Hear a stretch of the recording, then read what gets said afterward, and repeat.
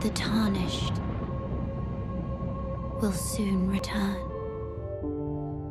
When I interviewed Hidetaka Miyazaki back in June about Elden Ring, one of the things that really stuck out to me was how many of his answers came back around to this core theme of Elden Ring being all about freedom and choice. Having now watched about 15 minutes of gameplay from a variety of sections of the game, I now fully get what Miyazaki was saying, and how Elden Ring offers more options and flexibility than anything From Software has worked on in the past.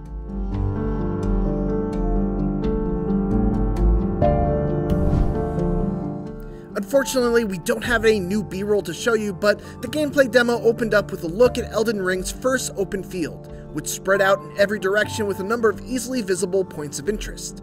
To the left was a small watchtower, far off in the distance straight ahead was the gigantic glowing Erdtree, and just in front was a site of Lost Grace, which will serve as the game's bonfire checkpoints. But what's interesting about them is that some will cause a light to lead the way towards a recommended path. Of course, it's up to you whether you actually follow that path or not. One of my takeaways from watching the open field gameplay was this feeling that you can encounter almost anything while exploring.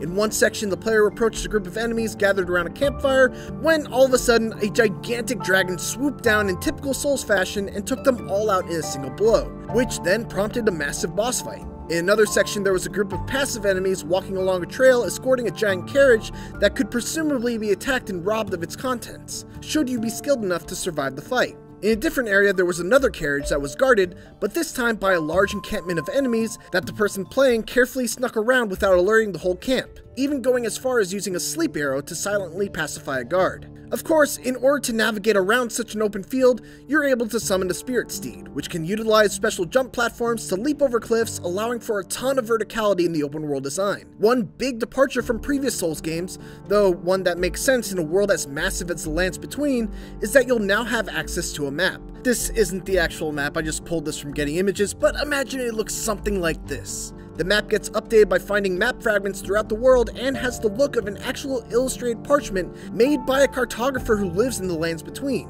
You can drop markers to note locations of tough enemies, NPCs, treasures, or dungeon entrances. As you'd expect, marked locations also place a beacon that's easily visible in-game, allowing you to set your own waypoints when you're looking for places to go next. Dungeons can be found throughout the open field, and of course, they're full of enemies, traps, treasures, and even illusory walls. The one dungeon that I got to see seemed very basic in its design, with a room that featured a bunch of guillotine traps, and then a treasure room that was guarded by a handful of enemies ready to pounce on you when you went for the treasure. But since the gameplay I watched was cut up and segmented, I never really got a feel for how big or substantial these dungeons really are. The Legacy Dungeon, however, I did get a feel for, and it felt massive.